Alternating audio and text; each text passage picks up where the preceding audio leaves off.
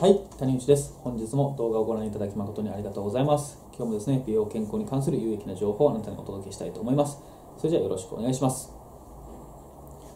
はい、えー今日のテーマはですね、えー顔の筋肉のほぐし方の順番。はい、ちょっと字が薄くて見えないかもしれないですけど、ほぐし方の順番と書いてあります。はい。えーこれは何の話ですかということなんですけども、まあ顔の筋肉をほぐして、えー血液循環を良くして老廃物が流れれば、えー体積が減ると。でその体積が減った分、えー小顔になる。あごめんなさい。小顔になると。まああのーほうれい線が薄くなったりとかね。はい、えーむくみが取れた分そういう効果もありますよということなんですけども。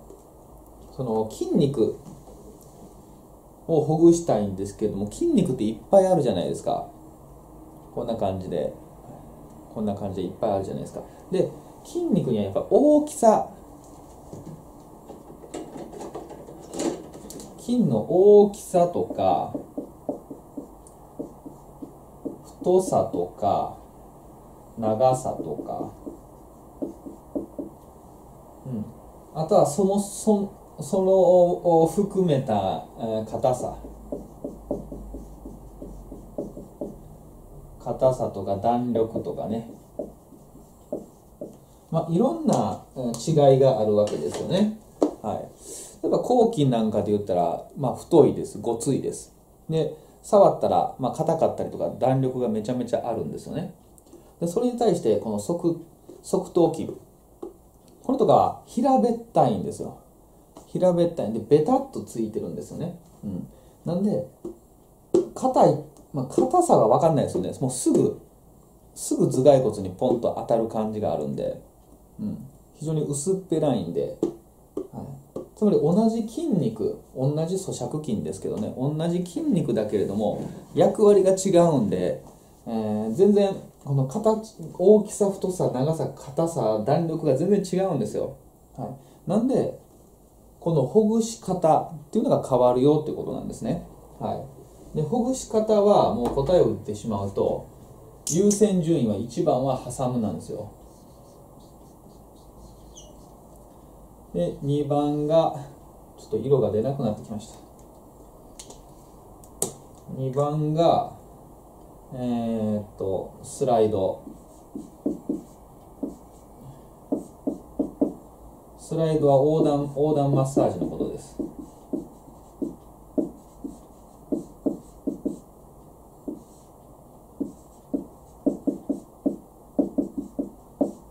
はい、で3番目が圧迫。はい。まあダイレクトストレッチみたいな感じですかね。まあちょっとちゃうけど、ちょっとちゃうけど、ニアリーイコール。ニアリーイコールとこうか。まあいいや。まあ圧迫をするかなんですよね。はい。えー、どういうことかっていうと、もうほとんど薄くて見えないですこれ圧迫って書いてます。はい。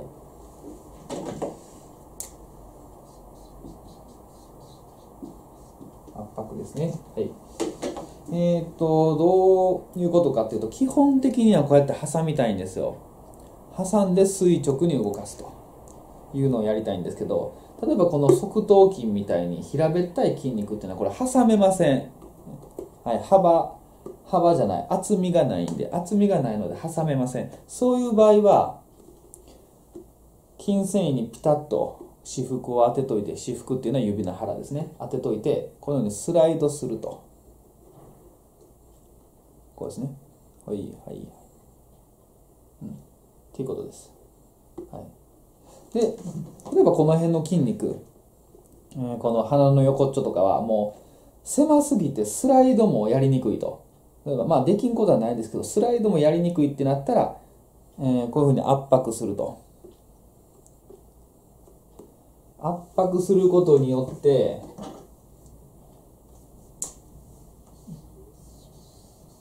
筋繊維がこうあったら